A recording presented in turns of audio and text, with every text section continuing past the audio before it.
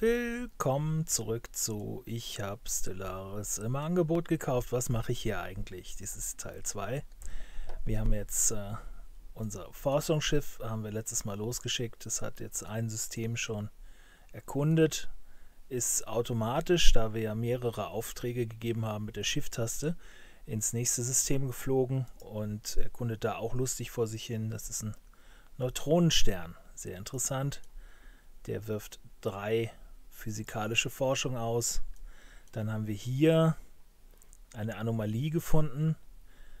Wir könnten jetzt, wenn wir hier in diesen Bildschirm gehen, könnten wir den Forscher dazu auffordern, dass er die Anomalie untersucht. Das würde 180 Tage dauern. Das wäre ein bisschen lang, das ist irgendwie ein halbes Jahr. Darum machen wir das erstmal nicht, weil wir auch nur den einen Forscher haben. Wir können jederzeit können wir dann später noch dahin gehen. Es äh, gibt, äh, es gibt ähm, Forschungsaufträge, die man finden kann, die zeitlich begrenzt sind, aber dann würde hier oben so eine kleine Uhr angezeigt werden und man bekäme eine Warnung. Das ist hier nicht der Fall. Jetzt erforscht er hier gerade diese toxische Welt. Das lassen wir ihn mal machen, weil wir in der Zwischenzeit wieder neue Symbole hier oben haben. Also erstmal ist eine Research-Station fertig geworden, die wir hier in Auftrag gegeben haben. Das äh, Sonnensystem haben wir jetzt komplett ausgebaut. Es gibt keine weiteren Ressourcen mehr. Darum können wir mit unserem Construction-Schiff können wir jetzt hier nach Bernhard Stern fliegen. Das ist komplett erforscht schon und können, wenn wir rechtsklicken auf den Stern, können wir eine Sternenbasis bauen. Das ist ein Outpost mit dem würden wir dann quasi das System claimen als unsers. Okay, also da braucht man nicht nur 90 Alloys für.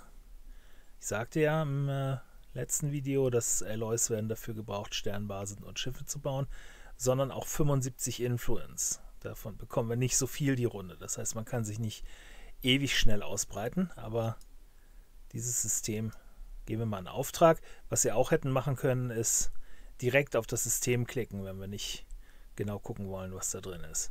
Das ist kein so besonders tolles System. Es äh, wirft nur drei Energie aus. Es gibt andere Systeme, zum Beispiel, wenn man hier guckt, im Sonnensystem 13 Energie, 13 Mineralien und äh, dann noch äh, 5 Forschung dazu.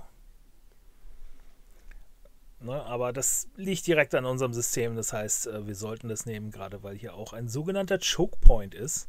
Wenn wir hier drin sind, dann äh, muss sich ein Angreifer, der aus dieser Seite oder von dieser Seite kommt, der müsste sich durch dieses System durchkämpfen. Insofern ist das gut, wenn wir uns das nehmen, auch wenn es kein besonders tolles System ist.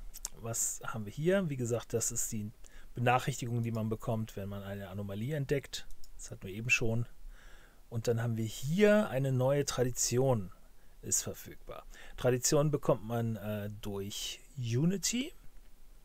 Unity wird generiert von bestimmten Gebäuden. Hier sehen wir einen Blick auf die Welt. Hier sehen wir, was für Gebäude wir haben. Wir haben momentan äh, die planetare Verwaltung, die Unity produziert. Und noch so ein anderes Verwaltungsgebäude also das hier, die planetare Verwaltung, das ist quasi das Hauptstadtgebäude. Das ist, äh, was bei Civ äh, der Palast wäre oder so. Da kann man nur eins von haben pro Planet.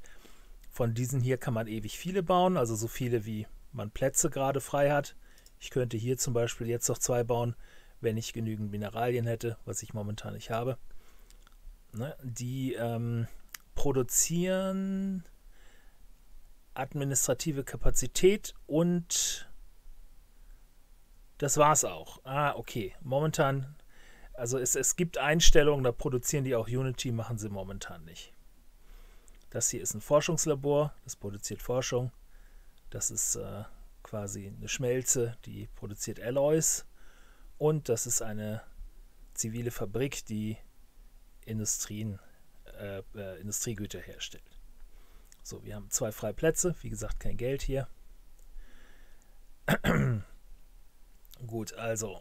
Ähm, früher war das so, dass äh, man hier einen Planeten hatte von der Größe 16. Das hat bedeutet, dass man 16 Sachen auf der Welt bauen konnte. Das ist jetzt, hat sich jetzt geändert. Jetzt haben wir Distrikte. Die 16 bedeutet, wir können 16 Distrikte haben. Es gibt Stadtdistrikte, dann gibt es Generatordistrikte, dann gibt es Mining-Distrikte und halt Landwirtschaftsdistrikte. Die äh, stellen die normalen, äh, also die, die äh, einfachen Ressourcen her. Generatordistrikte machen Energie, Mining-Distrikte machen Mineralien und Landwirtschaftsdistrikte stellen Nahrung her. Und die Stadtdistrikte, die haben mehr Housing als die anderen Distrikte. Hier gibt es zwei Housing pro Distrikt. Hier haben wir fünf Housing. Also da wohnen die Leute. Und ähm, es gibt hier Clerk-Jobs, das sind so Beamtenjobs. Die stellen Amenities her. Also das im Grunde genommen ist das die Serviceindustrie. Die sorgt halt dafür, dass die Leute zufrieden sind. Da braucht man diese Amenities für. Hier oben ist eine Zusammenfassung wie viel Housing frei ist. Momentan können sechs weitere Pops auf der Welt leben. Das heißt, Housing brauchen wir erstmal nicht mal bauen. Aber alle Jobs, also wir haben Vollbeschäftigung, alle Jobs sind ratzefatz weg. Das heißt, wir müssten irgendwas bauen demnächst. Aber momentan haben wir halt einen relativ idealen Zustand und äh, keine freie Bevölkerung, die irgendwas machen kann. Darum ist das momentan jetzt nicht so dringend. Jo, okay, also wir haben den Auftrag gegeben. Ah ja, und wir haben genug Unity für eine weitere Tradition. Wenn wir auf das Symbol klicken, kommen wir direkt in den Bildschirm, der dem Symbol quasi äh, entspricht. Und äh, hier gibt es verschiedene Sparten von Sachen, die man auswählen kann. Am Anfang Expansion oder Discovery Expansion sorgt dafür, dass man halt sich schneller ausbreiten kann und Discovery sorgt dafür, dass man schneller alles erforscht in der Umgebung. Ich nehme mal Discovery. So, also es gibt erstmal einen Bonus dafür, dass man den Baum freischaltet und dann gibt es für jede einzelne Sache, die man hier noch machen kann, einen Bonus. Aber es dauert 17 Monate, bis ich dann den nächsten Bonus freischalten kann. Wenn man alle Boni hier durch hat, also wenn man den kompletten Baum fertig hat, schaltet man eine sogenannte Ascension Perk frei. Das ist ein äh, sehr mächtiger Vorteil, den man sich aussuchen kann aus einer Liste. Und äh, die Sachen dort haben auch verschiedene Voraussetzungen. Ne, da ist alles Mögliche dabei. Da ist zum Beispiel auch dabei, dass man hier äh, seinem Volk äh, einen kompletten genetischen Overhaul gibt oder äh, dass man anfängt äh, mit Cyborg äh, äh, herum zu experimentieren oder halt, dass man Psi-Fähigkeiten entwickelt, da ist alles Mögliche dabei. Gut. Ja, ich glaube, dann sind wir wieder für heute fertig. Gut, dann bis zum nächsten Mal. Auf Wiederhören.